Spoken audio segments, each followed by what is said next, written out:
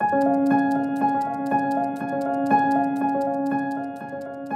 you know people can fly? When I was a kid, all I could think about was being an astronaut. Like pilots and astronauts, they can fly. I loved everything about flight, even aliens and UFOs. I have to be really good at math and probably science too.